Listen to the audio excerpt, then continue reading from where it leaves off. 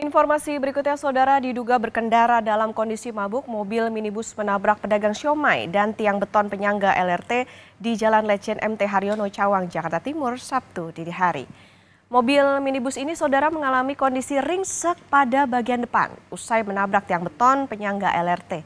Mobil juga menabrak sepeda pedagang siomay hingga mengalami luka berat di sekujur tubuh. Guna kepentingan penyidikan, sopir beserta mobil dibawa ke kantor unit Laka Lantas Polda Metro Jaya.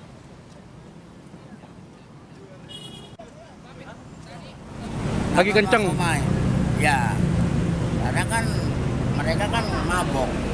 Oh, kira mabok ya kira bang. Kalau nggak mabok nggak mungkin begitu kan. Jadi yang supir laki-laki ya perempuan? Bang? Laki ini orang laki-laki ini. Laki-laki ya. Orang Tukang kondisi kondisi somainya, tukang somainya parah parah. Luka di mana ya? Luka dari kepala, tangan,